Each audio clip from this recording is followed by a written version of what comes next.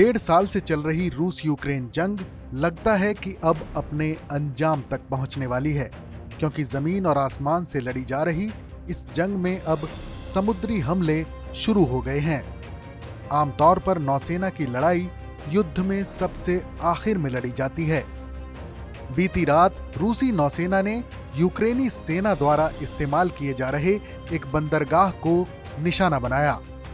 समुद्र से लंबी दूरी की मिसाइलों के ज़रिए किए गए इस हमले में बंदरगाह के बुनियादी ढांचे को पूरी तरह से नष्ट कर दिया गया।